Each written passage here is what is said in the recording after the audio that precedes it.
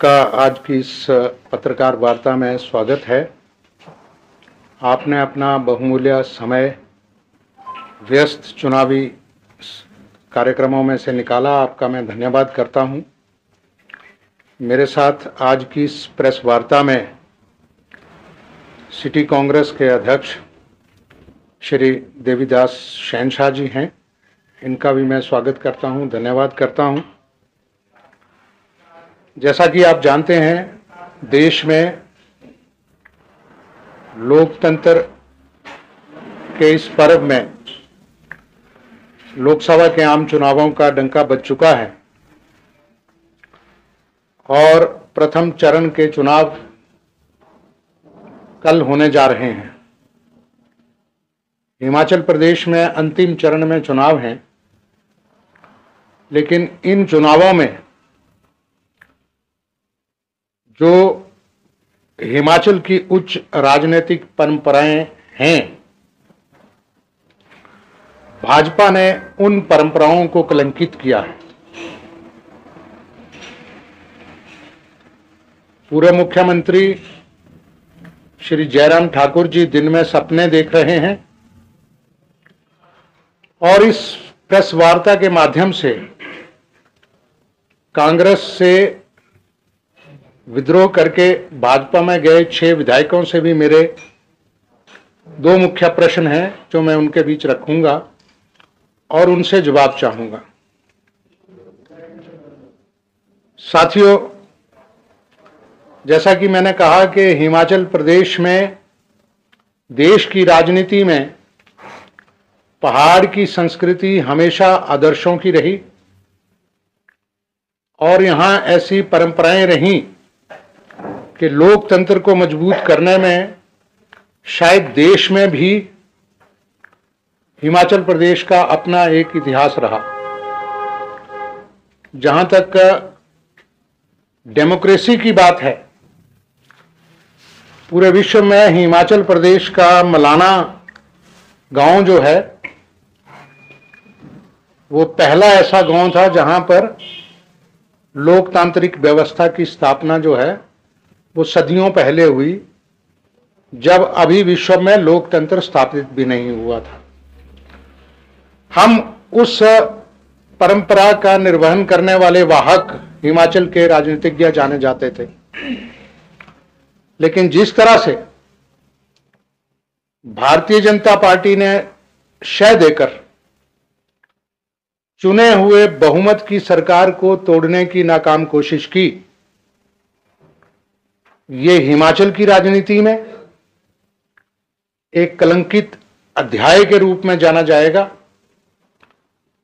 और आने वाली पीढ़ी के लिए ये एक ऐसा अध्याय होगा जिसको सुनकर, जिसको पढ़कर, जिसको समझकर हमारी आने वाली पीढ़ी भी के आगे हम लोग शर्मसार महसूस करेंगे कि हिमाचल प्रदेश में एक चुने हुए लोकतंत्र की सरकार को इस तरह से गिराने की कोशिशें हुई।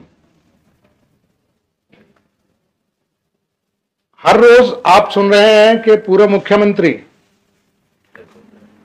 श्री जयराम ठाकुर जी आए दिन बयानबाजी कर रहे हैं कि चार तारीख को जब परिणाम आएँगे तो सरकार गिर जाएगी।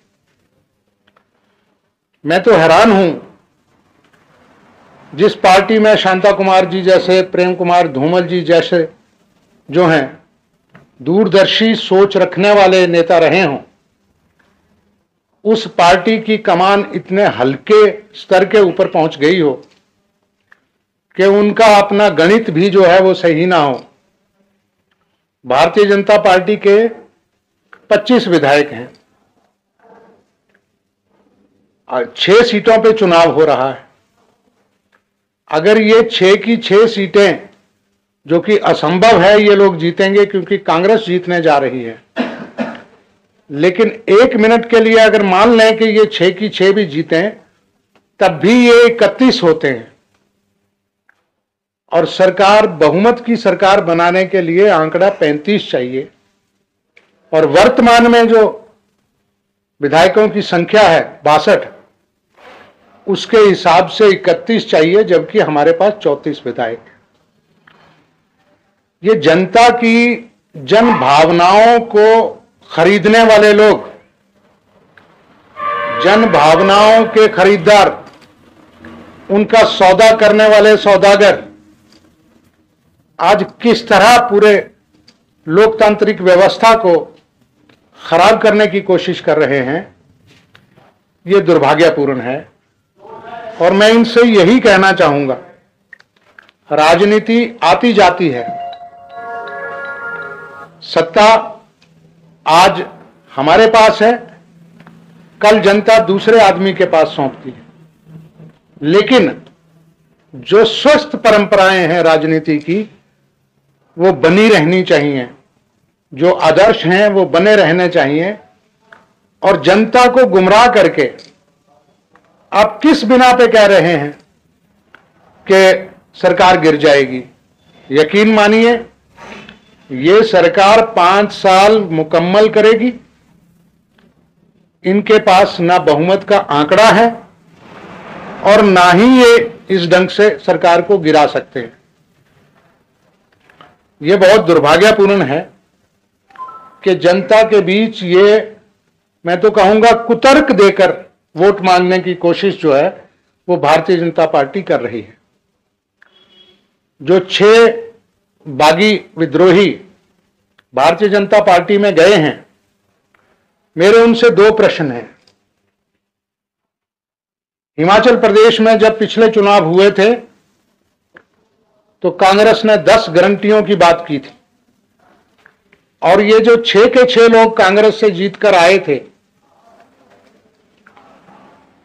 इन लोगों ने ओपीएस के मुद्दे पर, पुरानी पेंशन बहाली के मुद्दे के ऊपर, और महिलाओं को जो 1500 1500 रुपया देना था, उसके मुद्दे पर चुनाव जीता था।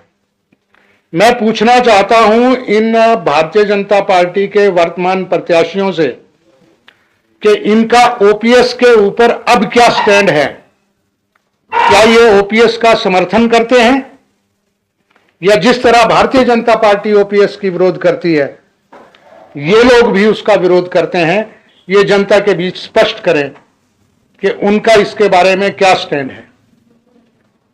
जो महिलाओं के लिए हमने पंद्रह सौ रुपए प्रति माह तय किया, जिसकी शुरुआत जो है वो हम लाहौल स्पीति से कर चुके हैं और जिसको रोकने के लिए भारतीय जनता पार्टी ने पूरी कोशिश की चुनाव आयोग के पास शिकायत की, लेकिन चुनाव आयोग ने फॉर्म भरने के लिए इजाज़त दे दी, क्योंकि ये चल रही प्रक्रिया है, उसको बीच में नहीं रोका जा सकता। हैरानी इस बात की है कि भारतीय जनता पार्टी करे तो शिष्टाचार, कोई दूसरा करे तो भ्रष्टाचार।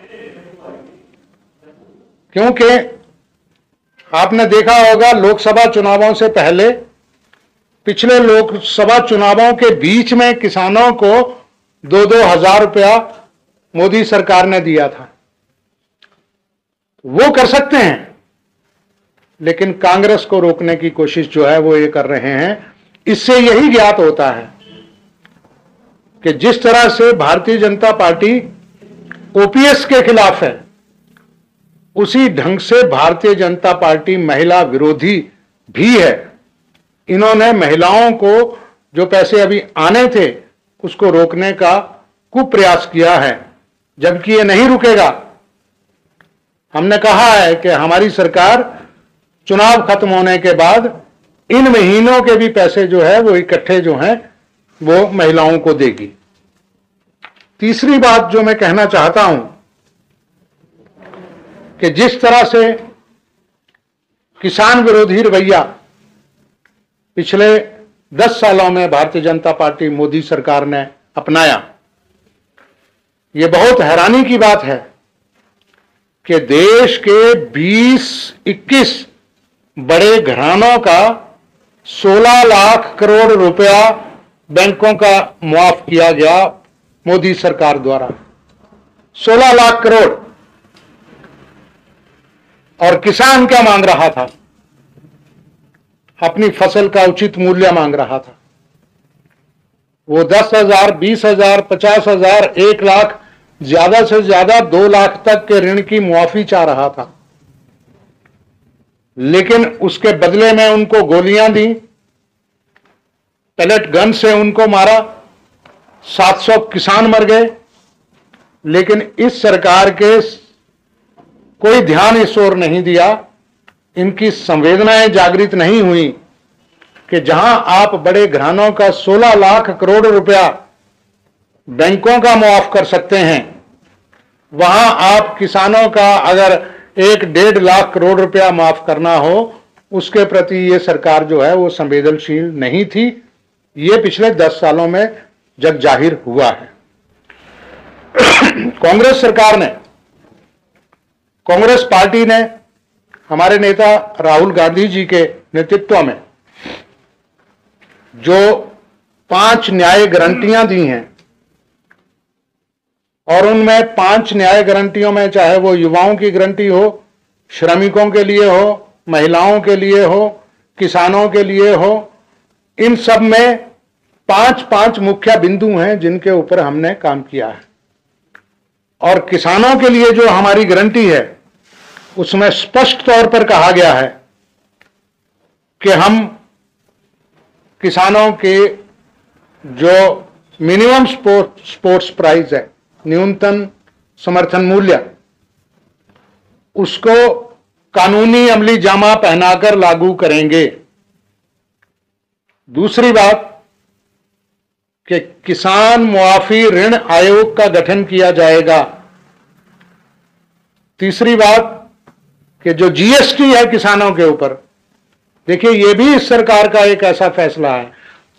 मुझे यह कहने में कोई अतिशोक्ति नहीं है कि इस सरकार के सारे नियम, कानून, प्रावधान मात्र बड़े लोगों के लिए बनाए गए, गरीबों के लिए, आम आदमी के लिए, छोटे व्यापारी के लिए, बेरोजगारों के लिए इस सरकार ने कोई कानून जो है वो नहीं बनाया। इसका उदाहरण है आप देखिए, एक अगर डायमंड है तो हीरे के ऊपर जीएसटी तीन प्रतिशत है। और एक किसान ने अगर ट्रैक्टर लेना है, कृषि उपकरण लेने हैं तो उसके ऊपर जीएसटी 28 परसेंट है। तो एक किसान जो अन्नदाता, जो देश की कर्णधार है, उसके उपकरणों के ऊपर जीएसटी 28 प्रतिशत। और बड़े लोगों की खरीद के जो चीज़ें हैं, उनके ऊपर जो जीएसटी है, वो तीन प्रतिशत। इस चीज़ के ऊपर भी हमने फैसला लिया है कि उस किसान न्याय गारंटी में हम किसानों के ऊपर जो जीएसटी है, कृषि उपकरणों के ऊपर उसको खत्म करेंगे। यही नहीं, जो स्वामीनाथन जी की रिपोर्ट है, उस रिपोर्ट को भी लागू किया जाएगा। और कृषि उत्पादों पर जीएसटी खत्म की जाएगी। यही नहीं, जो फ़सल नुकसान के बीमा योजना है, जिसमें अरबों, खरबों का कंपनियों ने फ़ायदा उठाया है, उसमें कांग्रेस ने नीतिगत फैसला लेकर न्याय कानून में यह बात कही है कि जिस भी किसान का फ़सल खराब होगी, उसको 30 दिन के अंदर अंदर मुआवजा जो है वो दिया जाएगा।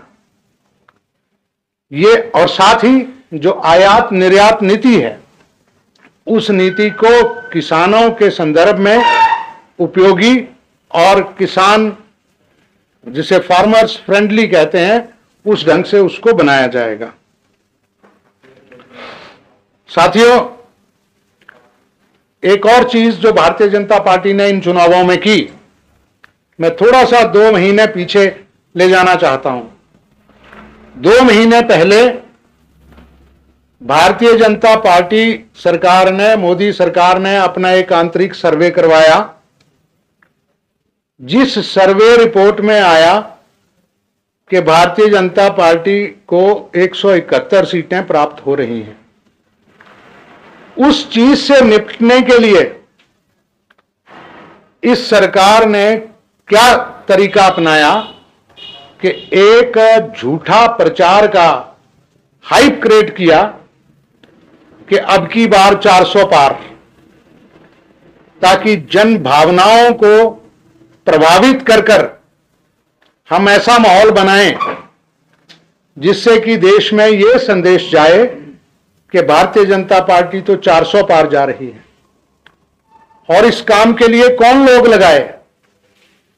धन बल ईडी बल सीबीआई बल, इन सबको लगाकर ऐसा प्रभाव पैदा करने की कोशिश की कि भारतीय जनता पार्टी जो है, वो अब की बार 400 पार का नारा, ये बिल्कुल वैसे ही है। जैसे वाजपेयी जी के वक्त इंडिया शाइनिंग का नारा दिया गया था। लेकिन पिछले कल की रिपोर्ट्स ये हैं कि जो 171 की बात कर रहे थे, वो 150 से नीचे पहुँच गए हैं। इतना करने के बावजूद, जिस तरह से इन्होंने जो विश्व का सबसे बड़ा घोटाला साबित हुआ, आपके सामने मामला न्यायालय में भी है, जो इन्होंने चुनावी बॉन्ड के रूप में ऐसी ऐसी कंपनियाँ जिनका सालाना आमदन दो करोड़ और वो फंड दे रही हैं, चुनावी बॉन्ड खरीद रही हैं भारतीय जनता पार्टी के लिए 200 करोड़ के। तो जो विश्व का सबसे बड़ा घोटाला कर कर भी देश बदल रहा है, जिस तरह से माहौल पूरब से पश्चिम तक, उत्तर से दक्षिण तक, मैं ऑल इंडिया किसान कांग्रेस के नेशनल कोऑर्डिनेटर के नाते विभिन्न राज्यों में जाकर आया हूँ। मेरे पास जम्मू कश्मीर का भी प्रभार है। अन्य राज्यों में भी जाकर देखकर आया हूँ। जिस तरह से परिस्थितियाँ बदली हैं, और उसका कारण एक है। हमारे नेता राहुल गांधी जी का सीधा स्पष्ट लोगों के बीच जाकर इनकी पोल खोलना, और दूसरा जनता को यह आभास हो गया कि यह सरकार जनमत को प्रभावित कर कर दोबारा सत्ता में आना चाहती है, लोकतंत्र को खत्म करना चाहती है। इसलिए जो ये 400 पार का नारा है, ये मैं यकीन से कह सकता हूँ कि जब अंतिम चरण के चुनाव के बाद आपके परिणाम आएँगे तो भारतीय जनता पार्टी 150 सीटों से नीचे तक सिमटी हुई नज़र आएगी। अंत में मैं एक संवेदना व्यक्त करना चाहता हूँ